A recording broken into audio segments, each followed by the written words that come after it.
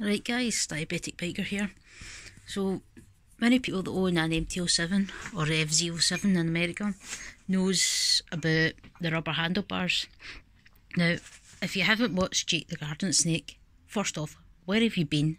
Because his bolt stuff on series, or bolt shit on series, is brilliant and handy wee tips. So, what we're doing here is we're replacing the handlebars, that's the old stock ones there.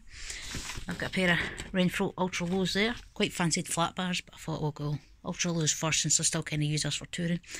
So I thought, while I'm in this far, I might as well do what most of the MT-07 owners call the garden snake mod.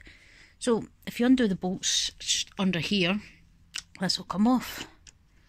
So what you'll find is when it comes off, there's a couple of washers a couple of wee washers like this.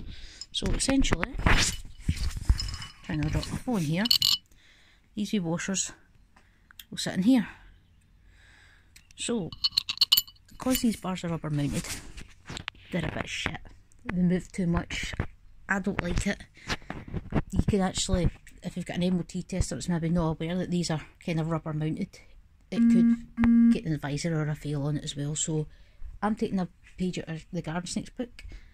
I've got a couple of M16 washers.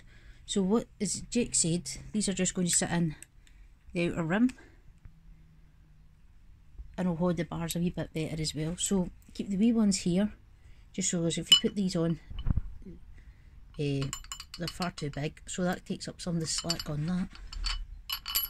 So if we put them back on, and then stick the mount back in adjust the washers and it takes away some of the, the play. So I hope this helps some folk out that maybe don't want to watch the whole of Jake's video, but I will link it below so you can actually check it out because that's his idea, he started this, so it's only fair I give him credit.